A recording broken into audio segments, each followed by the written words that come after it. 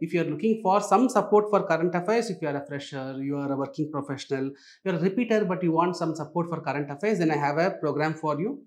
Um, I have given the uh, brochure and also the uh, announcement video link in the description. You can watch if you are interested. Right, class starts from 14th of February.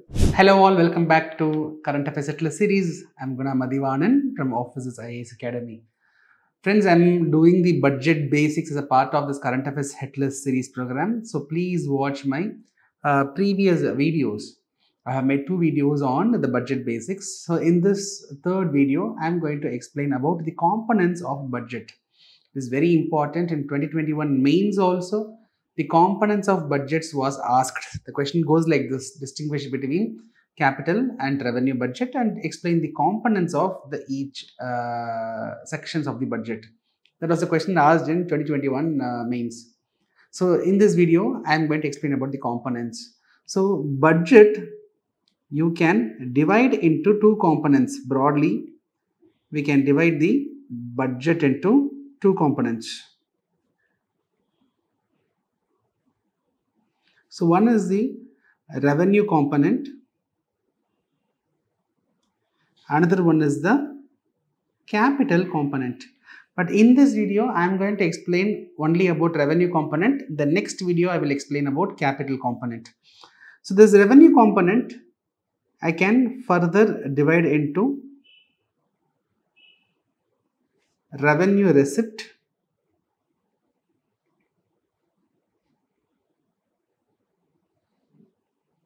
and revenue expenditure.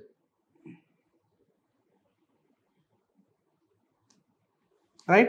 Sir, expenditure we are able to understand what does this receipt mean. See, uh, receipt is a broader term. Let us say uh, I am earning 10,000 rupees. My father is giving me 2000 rupees pocket money. I am borrowing another 2000 rupees. Now, when I say receipt, that includes everything what I earn, what I receive, what I borrow. It is a broader term. Okay. So, when I say income is something which I have earned, which I will not give it back. But when I say receipt, my receipt, that means in this moment how much money I have in my pocket. I got 10,000 through my salary. I got 2,000 through my borrowing. I got 2,000 through my, uh, I mean, my uh, father uh, gave me a pocket money of 2,000. So, all put together in my pocket, I have 14,000 rupees now that entire amount is called as receipt. Okay? So put it simply it is the money i have. Expenditure is the spending which i do. Receipt is the money which i receive. That much you understand. Because this revenue component i'm dividing into revenue receipt and revenue expenditure. This revenue receipt i'm further dividing it into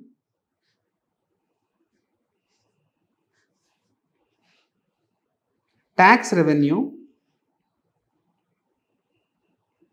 or tax receipt, I'm sorry, tax receipt and non-tax receipt.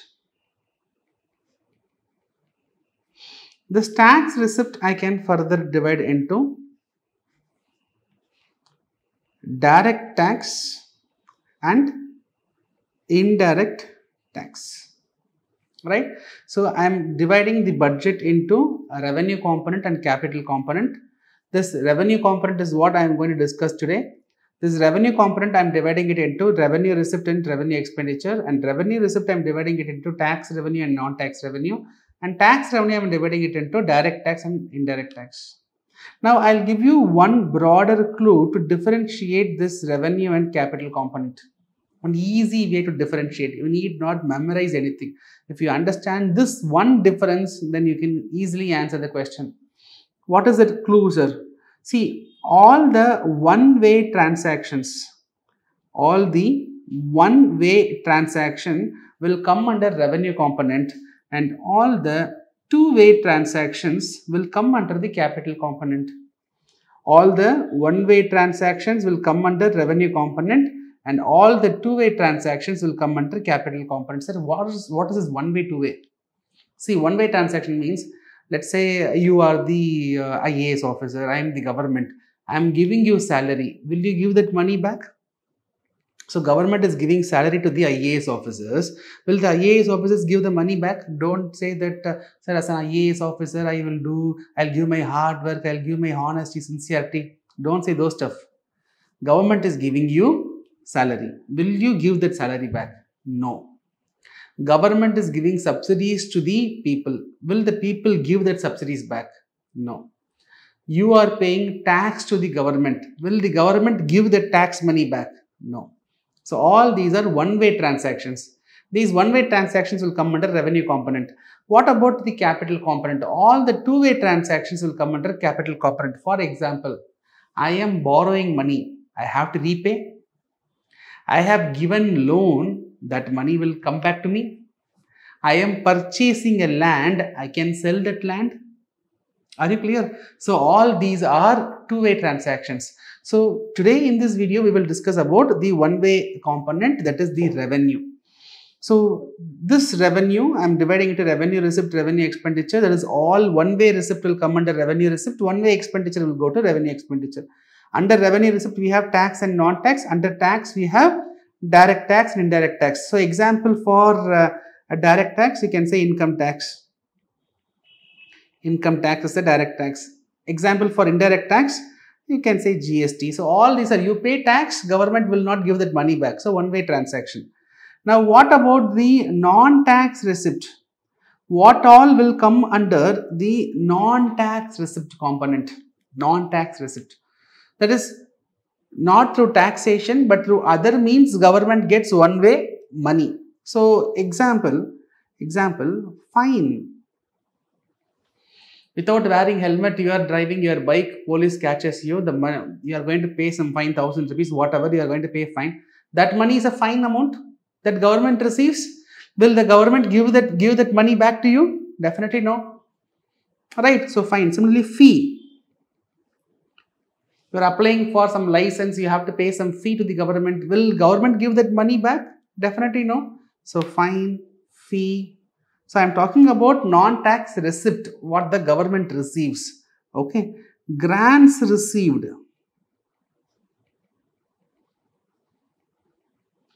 Grants received. Sir, what is this grants? How it is different from loans? See, loans are borrowings. You are borrowing money, you have to give it back.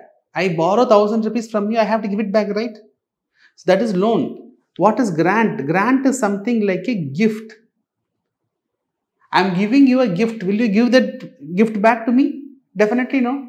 So, uh, let's say our uh, um, president uh, is giving grants to some other country or some other country is giving grants to our country, we will not give it that back. So, grants are something like gifts. So, when India is receiving some grant, when India is receiving some grants, India is not going to give it back. When I say India here, I am talking about the government. When government is receiving some grants, government is not going to give it back. So grants received. Similarly, interest received.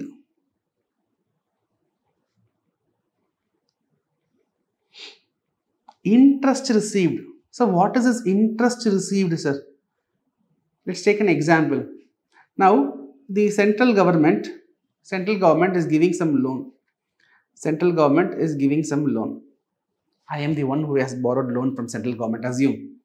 So, Guna has borrowed money from central government and Guna has to give that loan back. Yes or no? Guna is borrowing money from central government. Guna is borrowing money from central government. That money, Guna will give it back to central government. So, there is two-way transaction. So, it will not come under revenue component. Loans will not come under revenue component.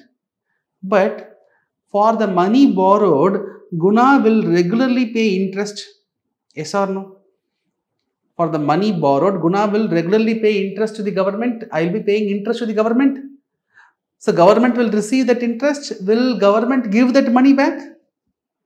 Will government give that interest back? Definitely no. See, for example, central government is giving um, a loan central government is giving loan to, uh, let's take Kerala government. So Kerala government has borrowed money from central government.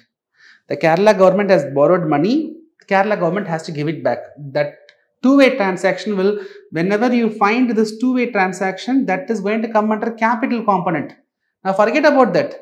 Now every month Kerala government, Kerala government has to pay interest to the central government, right? For the borrowing, interest has to be paid. Will central government give that money back? Definitely no. So Kerala, I am the central government. You are the Kerala government. You are going to give me interest every month. Will I give that money back? Definitely no. So that is a one-way transaction. So whatever interest received by the government that comes under non-tax, non-tax receipt. Similarly, profits. Similarly, profits. Profits earned by the PSUs. Profits earned by the public sector enterprises that will also be part of one-way receipt for the government one way receipt for the government. See, I'll give you a uh, easy example.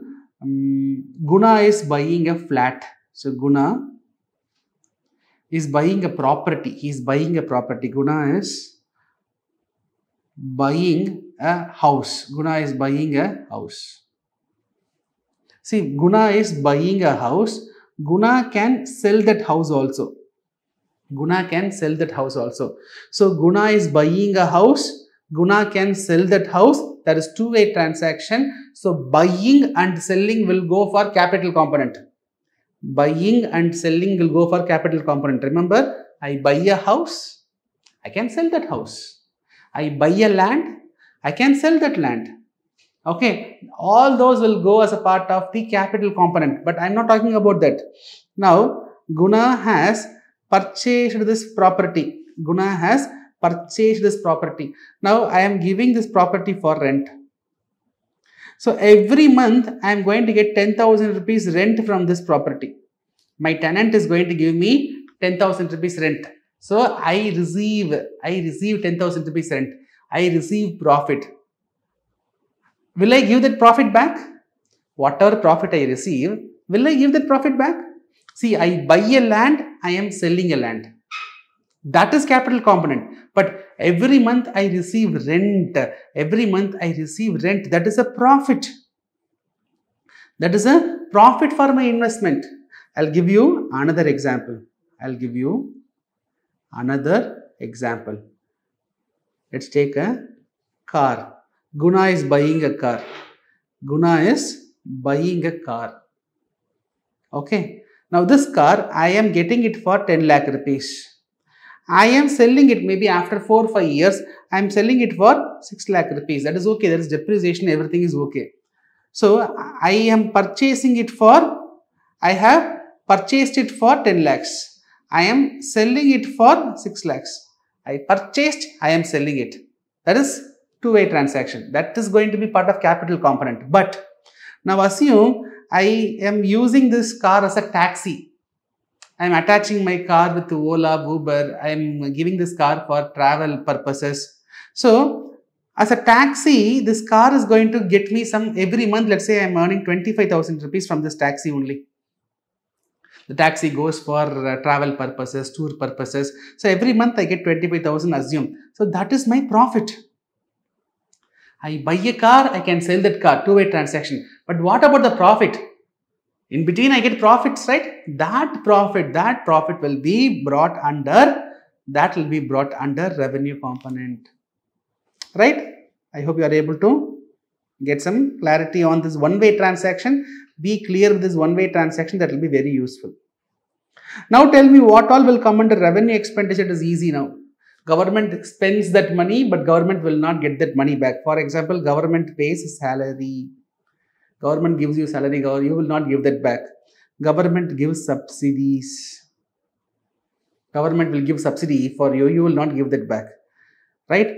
Uh, grants given. Grants given. See, here we saw grants received. When government receives the grants, that is non-tax receipt. But when government, Indian government can give the grant, when government gives the grant, that is revenue expenditure right? That is revenue one way expenditure. Similarly, interest paid. Interest paid. See here I mentioned about interest received. But here I'm talking about interest paid. If central government has borrowed money, central government has to pay interest every month. So that interest paid, right? So all these are examples of revenue expenditure, right? Salary, subsidies, grants given, interest paid, non-tax receipts, fine, fee, right? Grants received, interest received, profits and tax receipts. See, understand the basic, understand the basic. The revenue budget will have one-way transactions, the capital budget will have two-way transactions. If you understand this simple clue, you can easily understand both the components. So here I have explained in detail about the revenue component now you would have got some idea about the capital component as well, but however, I will make a separate video on the capital component. These two understandings are very much important. Why it is very much important? Only with these two understandings, we can understand deficits. What is budget deficit? What is fiscal deficit? What is revenue deficit? What is effective revenue deficit? What is primary deficit? So in the next video, I will explain about the capital component. Then in the coming videos, we will discuss about the deficits as well. I hope the topic was useful. So friends, I hope you all know that I'm making strategy videos, right? Please watch those videos as well. It will be very useful for your preparation. I will see you in uh, another video. Until then, bye. Take care.